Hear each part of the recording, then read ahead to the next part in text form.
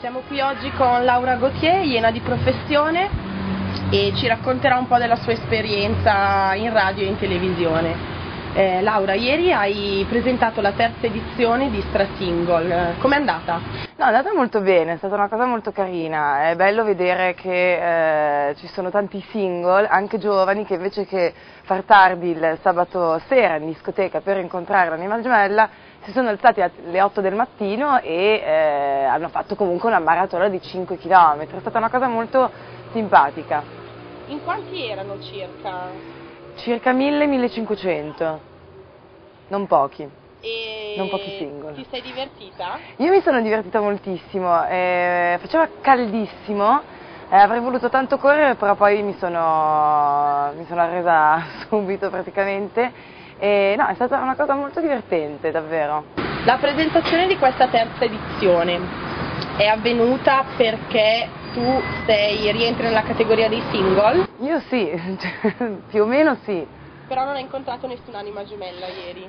No, ieri non, mi sono, non ho cercato tanto perché comunque avevo un ruolo da, da presentatrice, cioè non, non potevo mettermi a cercare l'anima gemella, stavo lavorando comunque. Corteggiatori?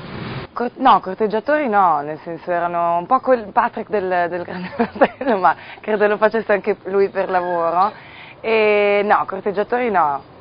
Radio DJ, come è nata questa collaborazione? Come è proseguita questa esperienza? Cosa stai facendo? Allora, eh, è nata dieci anni fa, nel, 2000, no, nel 99, ero in vacanza a Riccione e eh, ho incontrato Linus e ha mh, saputo che ero mezza francese e mezza inglese e aveva bisogno di una voce mh, inglese soprattutto.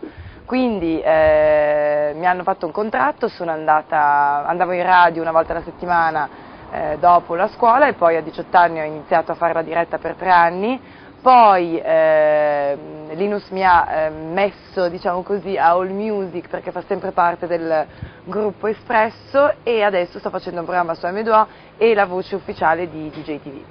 Eh, da eh, un anno a questa parte collabori con le Iene. È partita ehm, più o meno un anno fa e ehm, è l'unico programma che, uno dei pochi programmi ehm, che mi piacevano e ho sempre guardato le Iene ehm, con grande ammirazione, pensando che fosse un po' più facile, poi mi sono resa conto che non era così, però avrei tanto voluto farlo. Ho conosciuto un autore delle Iene eh, sono stata un po' in redazione per capire come eh, funzionava lì dentro e poi mi è venuta un- una piccola idea, nel senso mi è venuto in mente un nome, Rocco Siffredi, e l'autore poi ha fatto tutto e anche Rocco Siffredi poi ha fatto tutto da solo e da lì è partita la mia esperienza con le Iene. Quindi il tuo primo servizio è stato quello con Ross. Sì, con Rocco Siffredi.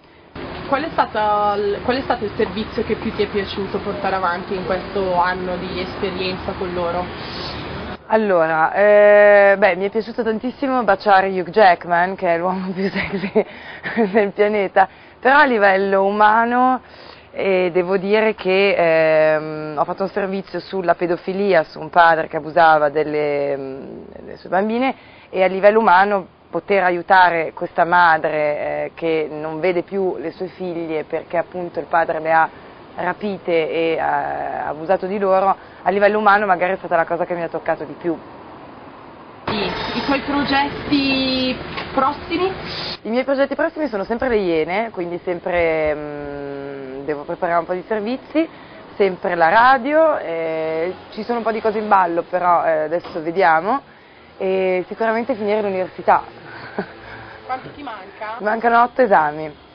Scienze della comunicazione all'Insubri di Varese, sì. Se volete darmi degli appunti, fatelo assolutamente. Sì. Per l'estate? Per l'estate eh, vado in Francia con mia madre, nel sud della Francia a cercare una casa perché lei si, trasferi- ci- si dovrà trasferire lì in autunno e poi non ne ho idea. Anche lì se avete delle proposte Invitatemi. invitatemi.